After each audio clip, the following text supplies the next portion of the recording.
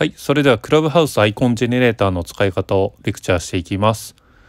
このクラブハウスアイコンジェネレーターはブラウザーサファリを推奨しているので必ずサファリで開くようにしてください。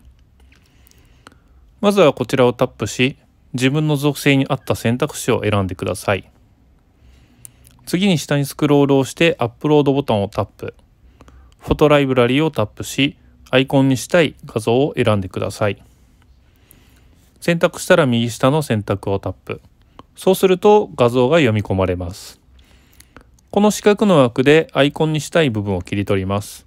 右下の青マークでサイズの調整ができます。縁がつくので少し大きめに撮るとおすすめです。右下のダウンロードボタンをタップし画像をダウンロードします。この画面が出てきたらダウンロードをもう一度タップ。すると右上のこのマークをタップすると加工された画像が表示されます。